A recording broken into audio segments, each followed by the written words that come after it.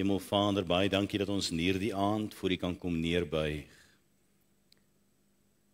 Want U alleen is aanbiddelik, Here. En voor niemand en niks anders sal ons die knie buig as voor U. Die lewende, die waaragtige, die drie maal heilige. Here, U is algenoegsaam. U is wonderbaar. U is hoog bo alles hier en die eer en aanbidding van ons hart kom U alleen toe. Here wanneer ons so saam is, is die behoefte van ons siele Here dat U met ons sal kom ontmoet deur U Gees. En daarom vra ons Here dat U dit kom stil maak in ons midde. Here ons eer U dat U ons harte alreeds kom voorberei het en dat U in hierdie aand met ons kom bemoeienis maak op so weeks aand soos vanaand. So ons kom buig voor U neer, Here. En ons vra dat die woorde van my mond en die oordeenking van ons elkeen se hart voor God alleen welbehaaglik sal wees. En ons bid dit in Jesus naam. Amen.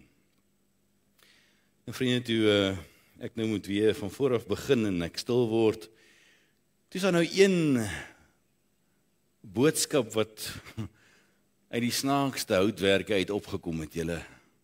En dis 'n boodskap wat ek 'n tyd gelede by 'n konferensie gebring het en die Here het in my hart gewerk dat ek met hierdie boodskap met u oor moet praat oor hierdie onderwerp om op te let. Want hierdie reeks is besig om baie vinnig verby te spoed en ons is vanaand by halfpad merk.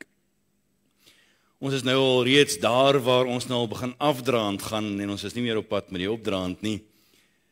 En as 'n mens daaraan dink dan wil 'n mens amper sê kan ons nie net so 'n bietjie die pause knoppie druk en net hier wag nie. Maar net so is dit ook met die jaar waarin ons onsself bevind want die eerste maand is verby.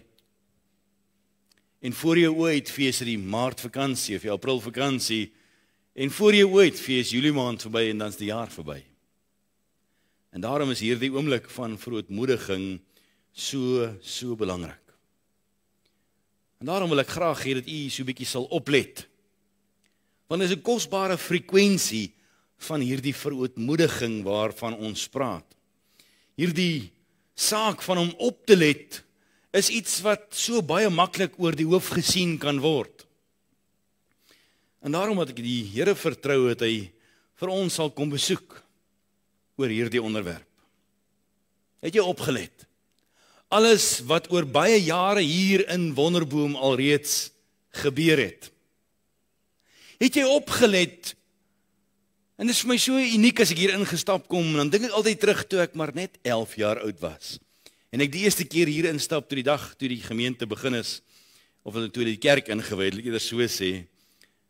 En dan sien ek dat daar van die mense nog al die pad die stryd stry en nog vas staan van daardie dag af toe alles begin het. Het jy opgelet daar's baie ou kennisse. Ek onthou toe ek op kweekskool was, het ek hier gekom baie maal en was vir my so verkoeking as ek hier kom sit en as oom daan die boodskap bring en dit praat in my siel en ek beleef die teenwoordigheid van die Here en ek weet hier's medebroers en susters wat daar dieselfde belewenis het. Het jy opgelet? Hier is baie ou getroues. Maar hier's ook baie van 'n nuwe generasie. Mense wat hand opgesteek het en gesê Here, ons wil ook. Daar's jong bekeerdes, nuwe kinders van die Here. Het jy opgelet dat die Here steeds hier in ons midde werk? En dat hy op 'n wonderlike wyse in hierdie gemeente besig is en dit maak mense opgewonde want dit bring 'n elektrisiteit in ons siele. Ek let op al die bouwerk wat hier al plaasgevind het. Die auditorium wat gebou is. Die gronde waaraan gewerk is. Die strukture wat in plek gebring is, bediening op bediening van wat gebou is in die gemeente en is kosbaar om te sien. Ek let op die mooi tuine en elke werk wat op hierdie plek aan die gang is soveel sorgsaamheid waarmee dinge beplan is. Jy kom op 'n Sondagoggend in die erediens in en so maklik kan 'n mens maar dink alles gebeur maar net. Maar let op die sorgsaamheid waarmee elke deel van alles in mekaar gepas word. Die orde van gebeure. Ek let op hoe dat die Here werk in ons midde. Ek let op dat God nog nie met ons klaar is nie. En dit maak mens opgewonde in die dag waarin ons leef. Want ek let nog iets mooi op. Al die mooi diep Bybelse beginsels wat hier geleer word. In Deuteronomium 32 vers 7, ek moet dit seker mooi uitspreek. Deuteronomium 32 vers 7 julle. Dis in die Ou Testament, hoor, as jy wil saam bly. Daar staan die woord, hy sê dink aan die dae van die ou tyd. Let op die jare van geslag tot geslag. Vra jou Vader dat hy jou dit bekend maak en jou die ou mense dat hulle jou dit sê. In die laaste dae van Moses se lewe kom hierdie woord en dit word aan hom gerig. En hy kom roep die volk saam en hy sê vir die volk: "Let op al die jare van God se getrouheid." Let op God se getrouheid te midde van die woestyn waarin jy was. Let op God se getrouheid te midde van die slawe wat jy was. Let op God se getrouheid te midde van die verkeerde keuses wat jy gemaak het. Let op al die jare. Ook hier in Wonderboom, ook hier in Pretoria, ook hier in Suid-Afrika waar ons is. Let op al die jare van God se getrouheid aan 'n volk wat hom eintlik uitverkoop het. Let aan Let op na God se getrouheid aan 'n kultuur waarin hy nie meer welkom in is nie. Jare gelede was die kerk altyd in die middelpunt van die dorp gebou gewees. En alles het rondom die kerk gebou. Alles het rondom die kerk gebeur. Die paaie het so intoe gekom. Die kerk se horlosie was die dorp se horlosie. Die kerk se kalender was die dorp se kalender. En ek let op dat baie van dit verander het. Maar daarom moet ons terugkyk en oplet na jare van God se getrouheid in dit alles. In Job 33 vers 31 sê die woord: Let op, o Job. Jy Job, gesand van die Here, regverdige onder soveel onregverdiges, jy as enkeling Job, let op. Luister na my, swyg en ek God Ek sal spreek. Maar Job moes let om stil te wees sodat God kon praat. Die woord kom tot Job om te let op die stem van die Here. En die Here kom praat met Job deur mense. Die Here kom praat met Job in naggesigte. Hy kom praat met hom deur omstandighede, deur siekte, deur die lewe wat hom tref. En hy sê let op om te swyg sodat jy kan hoor wat ek sê vir jou sê. Psalm 94 vers 8 sê: Let op o, o, o onverstandiges onder die volk en julle dwaase, wanneer sal julle verstandig word? Hy sê ons moet oplet om verstandig te wees. Om enige onverstandigheid eenkant te skuif en met oorleg te dink oor wat God se weg en God se wil vir my sou wees.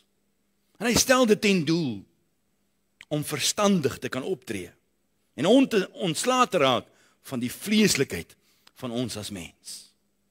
Maar dan gaan hy verder in Psalm 107 vers 43. Hy sê wie wys is, laat hy op hierdie dinge ag gee en laat hulle let op die goedertierenhede van die Here.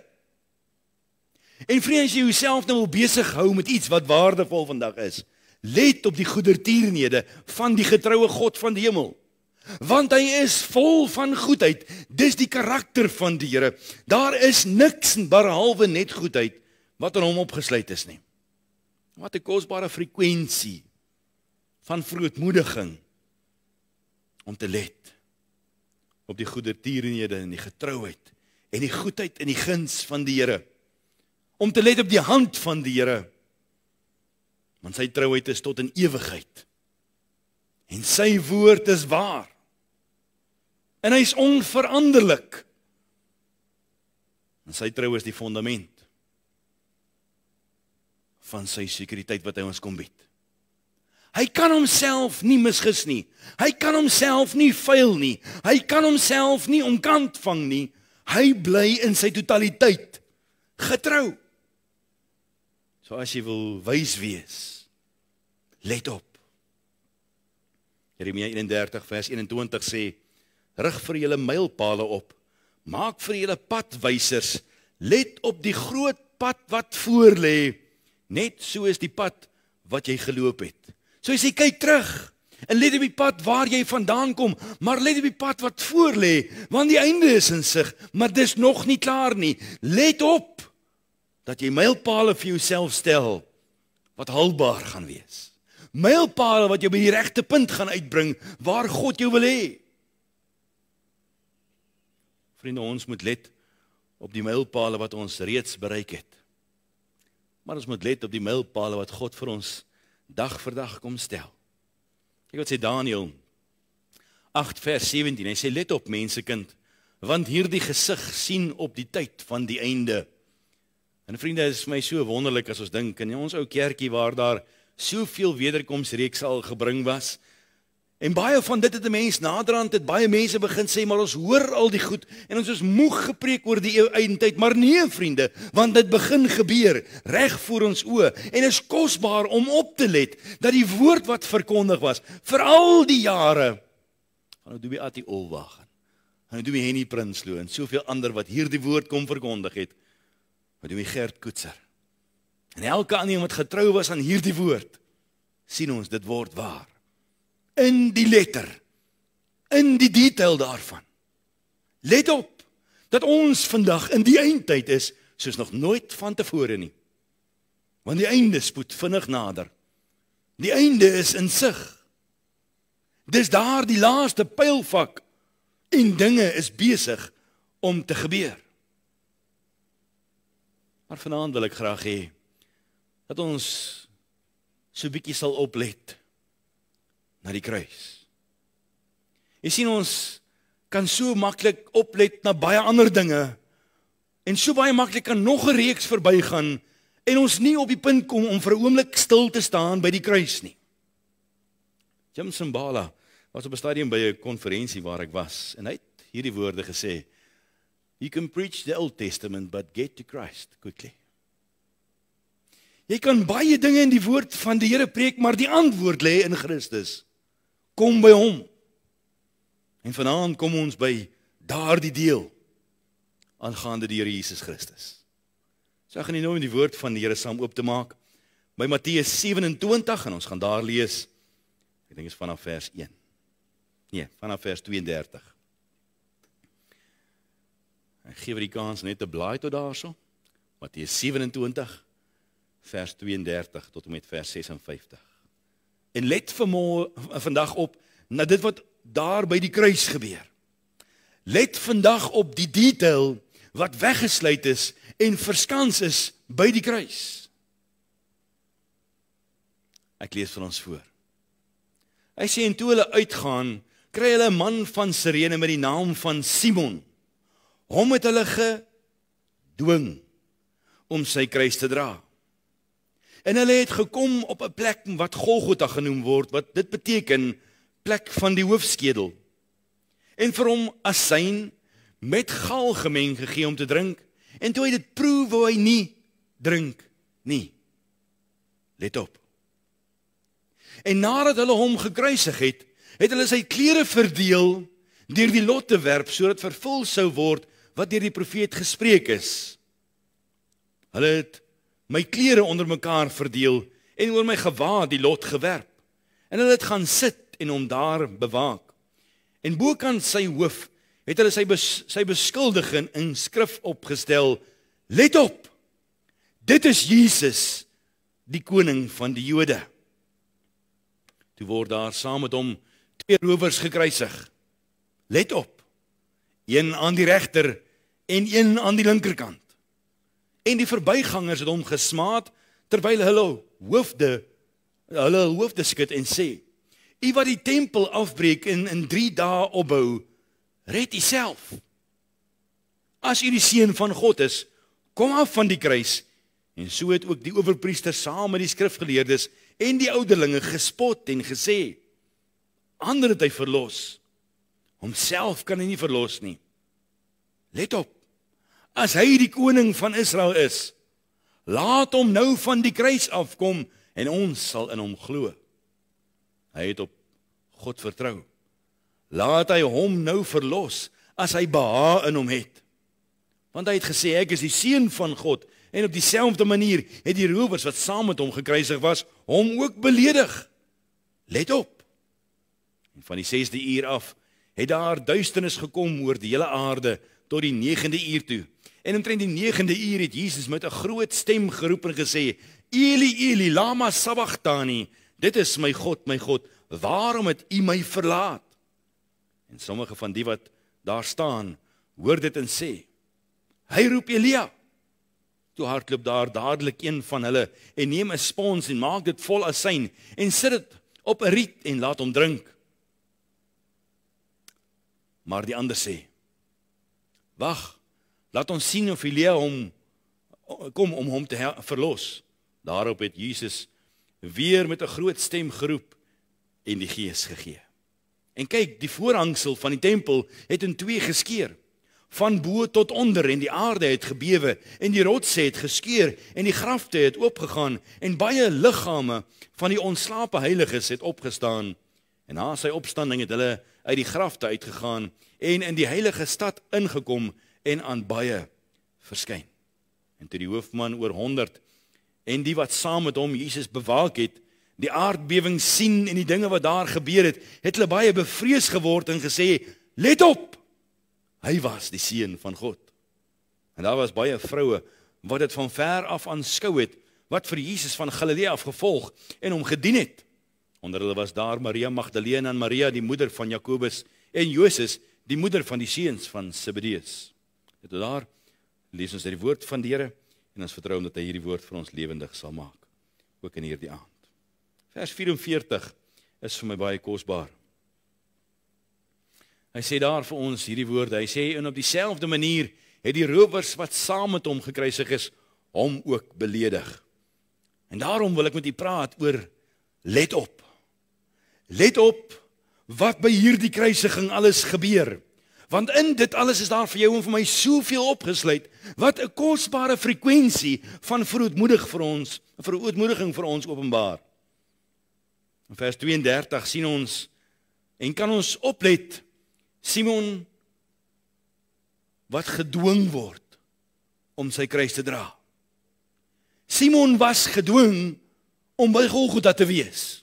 Hy was nie op pad soontoe gewees nie. Hy het geen belang daar gehad nie. Hy het 'n ander rigting gehad, maar hy word gedwing sê die woord om die kruis te dra. In vers 34 sien ons en ons kan oplet wat gebeur toe Jesus proe aan die asyn en hy nie wou drink nie. In vers 35 let ons op hoe hulle speletjies speel met Jesus se kleed en hoe hulle eintlik besig is om profeseë te vervul deur hulle speletjies wat hulle speel. In vers 37 let ons op die beskuldiging wat bo die kop van die Here Jesus hang. Dit is Jesus, die koning van die Jode. Maar in vers 38 let ons op dat daar twee is wat saam met hom gekruisig is. En hy weet die oomblik toe sy vader hom verlaat het. Die oomblik toe hy in daardie posisie is waar die teenwoordigheid van sonde skeiding tussen hom en sy vader gebring het en hy lê dit die oomblik op toe dit gebeur. Maar ons let ook op die verbygangers in vers 39 wat hom gesmaat het, wat 'n weerstand in hom gehad het, wat hulle hoof geskit het en hom verafskie eintlik het. Ek let op daar's mense wat rondom die kruis staan wat hom bevraagteken. Ander kon hy homself kan hy nie. Ek let op hulle posisie van smaad teenoor die Here. As hy, dan sal ek. So bekende woord in ons dag en soveel mense wat dit blaatant eintlik uitbasyn in ons dag. As hy, dan sal ek. Let op die skrifgeleerdes en die ouderlinge. Let op die godsdienstiges wat saam Jesus gespot het. Ander kon hy. Homself kon hy nie. Let op dat daar mense rondom die kruis was wat glad nie beïndruk was met hierdie man wat aan die kruis hang nie. Kerkmense. Mense wat behoort te weet. Maar wie glad nie beïndruk was met wie hy is, met wat hy doen en wat die doel daarmee is nie. Maar dan let ek op hierdie twee rowers. Let hoe hulle saam ook vir Jesus beledig het. Ek let op hulle ongeloof. Ek let op dat hulle hart is van hart. En al twee hierdie manne dryf die spot met Jesus. Let op hulle wat deel in die groepsdruk. Al die mense spot, so ons spot maar saam. En ek let dat aan hierdie doodsnikke van hierdie mense se lewe veroordeeldes en hulle verdien die oordeel is wel onoortuigbaar. Vriende, as jy oplet na al hierdie dinge, dan tref dit 'n mens nogal. Nou as ons na die hele verhaal van die kruis kyk, dan let ons 'n paar kosbarehede op. Ons let op dat sommige was daar vir die fees. Hy sê op die dag van die groot fees is Jesus gekruisig en daar's mense wat dit gesien gebeur het, maar hulle was daar vir die fees. Ek let op dat Judas was daar gewees vir die weersie. Vir wat hy daar uit kan kry. Ek let op dat die disippels was daar gewees want hulle het agter Jesus aangeloop en daar waar Jesus loop, daar loop hulle saam. Ek let op dat daar sommige mense daar was wat maar net getel wou word want die volk was hierdie naweek getel gewees. Ek let op dat die fariseërs daar was om Jesus te probeer vasvra. Ek let op dat die godsdienstiges daar was om die tempel te besoedel en 'n roerspilong daarvan te maak. Ek let op dat sommige van sy disippels daar was vir politieke redes. En so vriende is ek en jy vandag ook hier vir baie redes.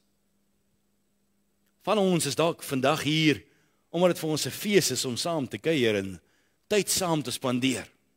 Van ons is dag dalk vandag hier omdat ons wil deel in die skare. Van ons is vandag dalk hier omdat ons wil deel hê om getel te word as deel van die mense wat daar was. Maar as ons let op dit alles, dan moet ek kom by hierdie twee rowers. Hierdie twee manne met uiteenlopende verhale. Ek let op. Toe die Here Jesus hierdie twee manne wat hier langs hom in die kruis hang in die oë kyk. Toe gebeur daar iets.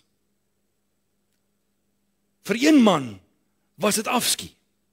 Vir die ander man aan die ander kruis was daardie oomblik toe Jesus hom in die oë kyk, die oomblik wat alles verander het. Dis die oomblik dit wat hy sien. Dit wat hy oplet in sy siel inspraak lewer. En net so vriende sal ek en jy soos daardie man ook diep getref kan word as ons oplet wat hier by die kruis van Golgotha gebeur. As ons oplet wat die Here vir ons daarin wil kom wys want daar soveel albei het dieselfde dinge gesien. Albei het met Jesus persoonlik gepraat Albei was naby aan hom gewees. Maar een het so ver van hom af opgeëindig en die ander een saam met hom in die paradys. Hierdie man wat saam met Jesus in die paradys beland het. Let op hoe Jesus gespot word. En dit het so diepe impak in sy siel dat alles vir hom verander.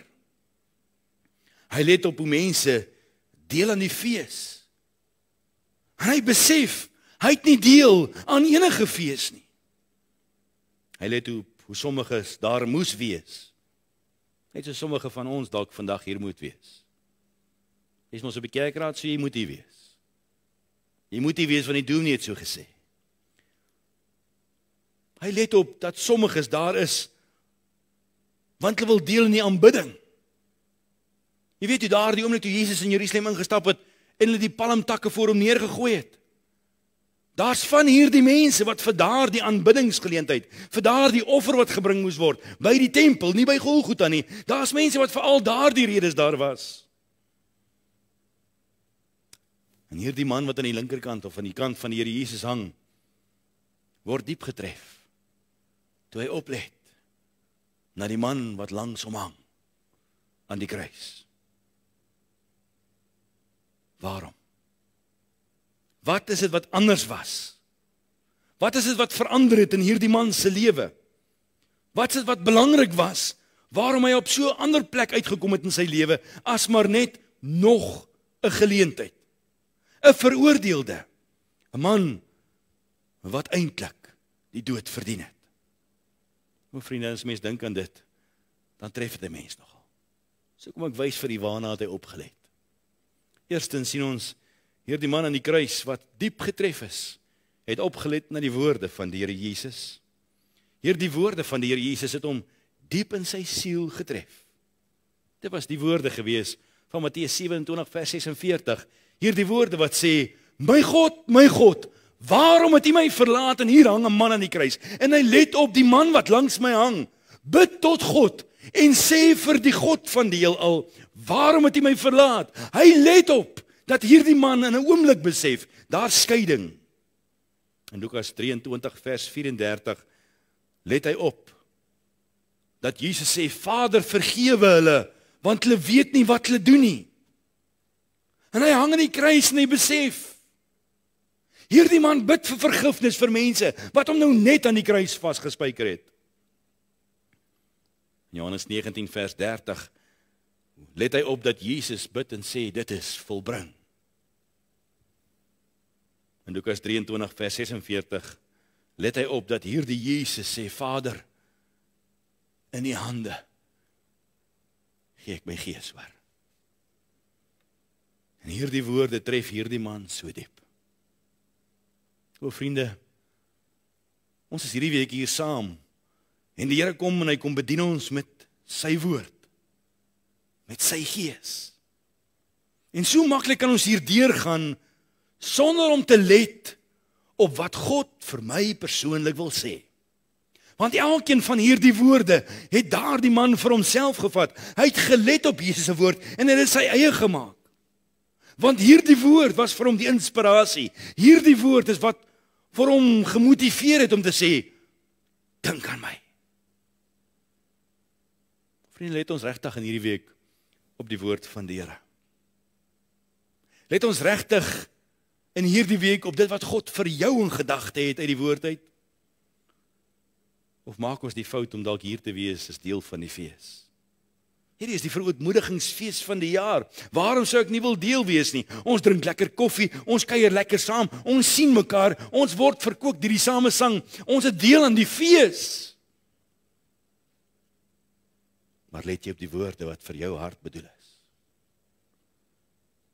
Kyk wat sê Johannes 5 vers 25. Hy sê voorwaar voorwaar ek sê vir julle Daar kom 'n uur en dit is nou wanneer die dode die stem van die seun van God sal hoor en die wat dit gehoor het sal lewe. Hy sê die wat die stem van God sal hoor sal lewe en die wat dit nie hoor nie is dood. Hy praat hier van die letterlike opstanding uit die dode wanneer die Here Jesus gaan kom. Maar vriende, wie in jou my siel is daar of 'n doodsheid vandag of daar's lewe en die verskil wat gaan kom is die woord. En as jy die woorde wat God vir jou kom gee, gaan oplet in daardie woord en daardie woord jou eie gaan maak en dit jou deel gaan maak en nie dat hierdie kruis nog 'n week by jou gaan verbygaan nie, dan kan dit jou diep tref tot in die diepste van jou siel. En daarom moet ons vir die Here sê, Here help ons asseblief dat ons fyn sal let op u woord vir my. Let op die woord van vergifnis te midde van verkeerde keuses het die woord van bemoediging te midde van my mens wees. Let op die woorde van die Here Jesus wat lewens verander te midde van wie ons is. Wat sê Jesus hierdie week vir ons? En as jy mooi let op die frekwensie van hierdie verootmoediging om te let, dan let jy op die Here sê vir jou dink mooi oor die dinge waarmee jy besig is. Dan sê die Here vir ons baie mooi, let op na die doel van verootmoediging. Sodat ek aan jou kan bekend maak wat in jou hart is, sodat ek jou kan leer, dat ek jou kan openbaar wat my wil en my wee vir jou is. Let op. Na die kanaal van smeking soos ons Vader het ons gesê. Let op daardie frekwensie van mense wat bid en wat die Here vertrou vir 'n diep werk in hulle siele. En pas op vir die vyand dat jy hom nie sal onderskat. En pas op dat jy God se heerlikheid nie gaan onderskat en sy heiligheid en sy regverdigheid nie. En pas op dat jy sonde nie sal onderskat nie. So doen selfondersoek. Ons let verder op dat die Here ons in hierdie week kom leer en kom herinner dat ons harte rein moet wees. Dat ons daders van sy woord moet wees. Dat ons in die fees van die bovertrek onsself kan geniet. Om te wag op die Here sodat hy vir ons 'n nuwe visie en 'n nuwe vuur en 'n nuwe krag en selfs 'n nuwe taal kom leer. Nie mensgemaakte taal nie. Maar daardie taal waar God se vuur in jou en my hart kom praat. O vriende, hy ruk ons tot stilstand. Hier in die middel van die reeks. Let net op. En moenie mis elke liewe woord wat vir jou en my siel bedoel is nie. Maar dit gaan verder. Ons kan ook sien hierdie man let op Jesus se liefde. Hier hang hy aan die kruis langs die Here Jesus. En hy hoor hoe dit hierdie Jesus uitroep en sê: "Vader, vergeef hulle, want hulle weet nie wat hulle doen nie." Hy let op dat Jesus is vol van liefde. Hy let op dat hierdie Jesus se liefde word nie beperk deur die dood of deur die lewe nie. Hy let op dat hierdie Jesus se liefde is bereid om die hemel te verlaat Hy let op dat hierdie Jesus het 'n kontak met die God van die hemel. En dat hy daardie kontak sou verbreek ter wille van hierdie liefde. Vers 46 sê dit is my God, my God, waarom het U my verlaat? Vader, vergeef hulle. Vader, dit is volbring. Hoor jy die hart van liefde wat daarin opgevat is? toe Jesus hierdie woorde uitroep en hierdie woorde uiter na sy Vader toe dat hy vir homself geen lede geag het om die hemel te verlaat en op hierdie aarde te kom wees sodat ek en jy met God versoen kan wees nie. Let dat hierdie liefde van die Here Jesus is so groot dat hy al die neidigheid en al die afskuw van hierdie lewe en al die haat van hierdie wêreld verdra het dat hy bereid was om die prys te betaal om die hemel te verlaat om sy heiligheid prys te gee om sy Vader prys te gee. Here die Jesus se liefde was so groot dat dit eintlik verstommend is vir hierdie man wat aan die kruis hang wat nie liefde ken nie wat nie hierdie liefde verstaan nie vir hom is daar moord en daar's roof en daar's doodslag en skielik word hy oorweldig deur die liefde van Jesus en dit tref hom so diep toe hy hierdie liefde sien. Daar waar die tye irriteer tref. Vriende, hier sit ons vandag. Lekker besig met 'n reeks dienste. Op watter punt gaan ons toelaat dat ons weer opnuut diep getref kan word met die liefde van die Here Jesus? Wat hierdie frekwensie van verootmoediging is onmoontlik as ons die liefde van Jesus misloop. Hierdie frekwensie van verootmoediging is onmoontlik as ons nie in kontak kan kom en die Here gaan toelaat om sy liefde in ons harte te kom uitstort nie. So let op die liefde van die Here vir jou en vir my. Daarom is hy getrou. Daarom is hy groot bo alles hier. O vriende, kom ons bekostig om nog 'n reeks laat verbygaan terwyl hierdie dalk die jaar mag wees waarin Here ons kom haal sonder om te let op sy liefde. Is dit nie sy liefde wat ons dring nie?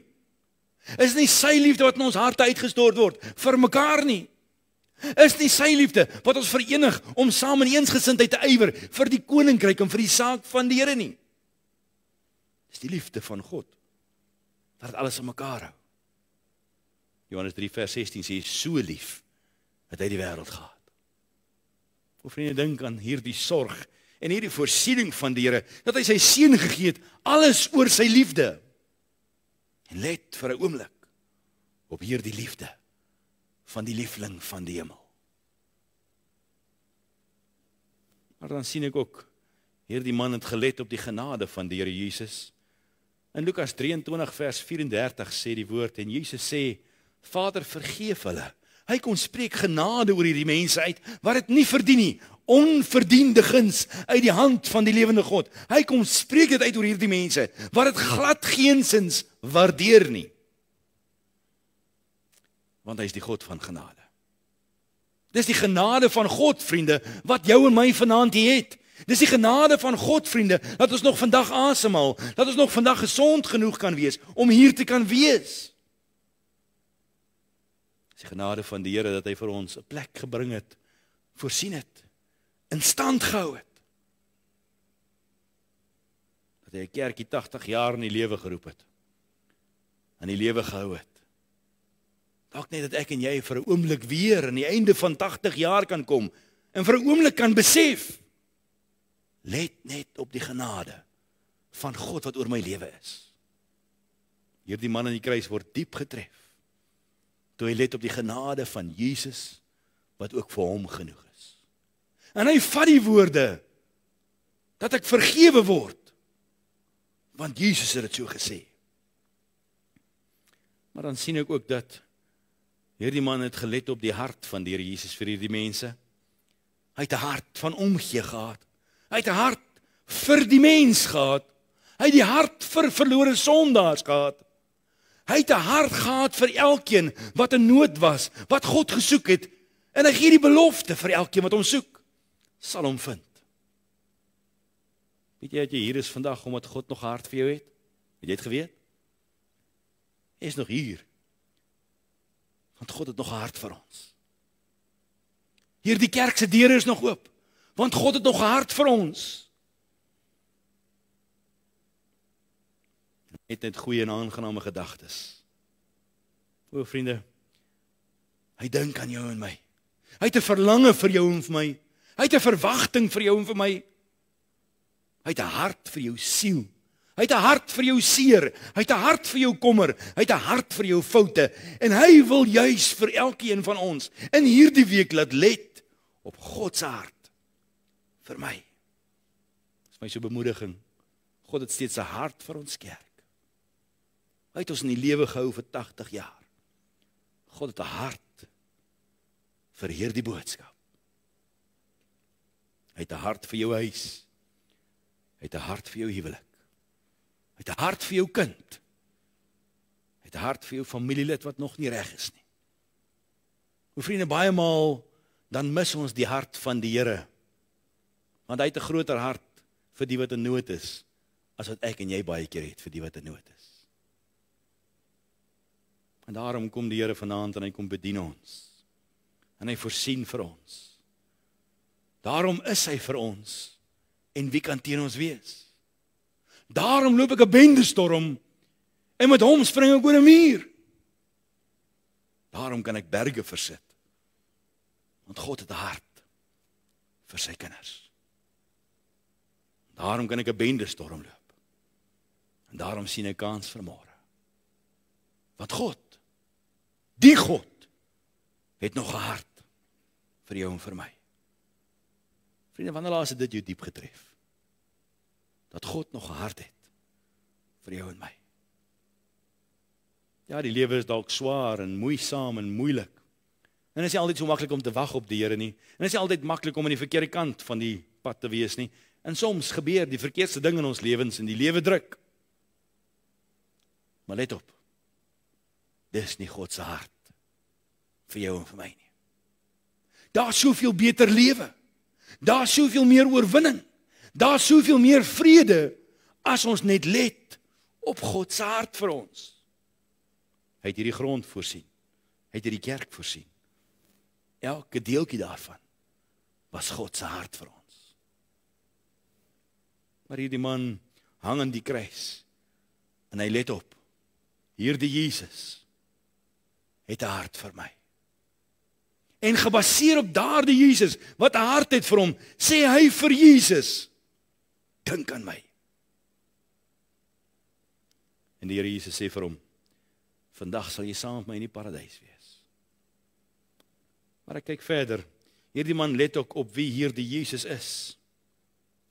Wie hierdie Jesus is, het ons so diep getref. Dis die Jesus van Markus 15 vers 39 wat sê en toe die hoofman oor 100 wat daar reg voor hom staan 'n befaamde man, 'n beroemde man, 'n man onder manne wat uitstaan as 'n soldaat. staan daar die man en hy roep uit: "Waarlik, hy was die seun van God."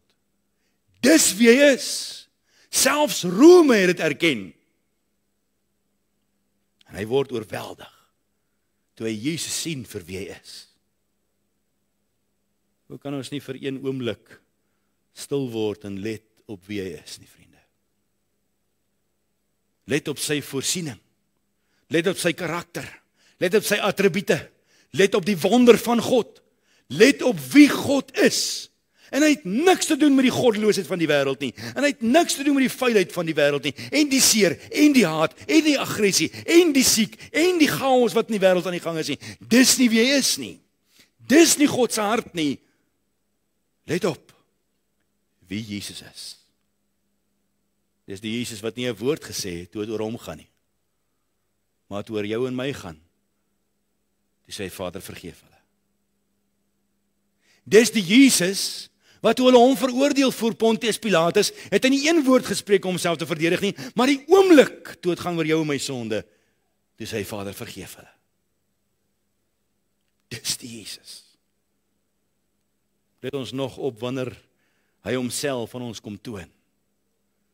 Let ons nog op of mis ons daardie groot oomblik van besoeking, want hy is die God van besoeking. Hy is die God Immanuel. Hy is die God wat met ons is en hy wandel met ons dag vir dag mis ons dalk daardie oomblik omdat ons nie weet mooi wie hy is nie. So vriende, hierdie man aan die kruis word diep getref die oomblik toe hy Jesus sien vir wie hy is. Waarom is jy hierdie week hierso? Om opnuut weer te besef wie hierdie Jesus is. Ja, die fees is lekker. Die samesyn is lekker. Die samesang is heerlik. Vriende, ek is te bang om nie te wees nie want ek is bang ek mis dalk iets. Wat as vanaand die aand is waarin God hierdie plek omskat? Wat as vanaand die aand is van God se besoeking en jy sit by die huis?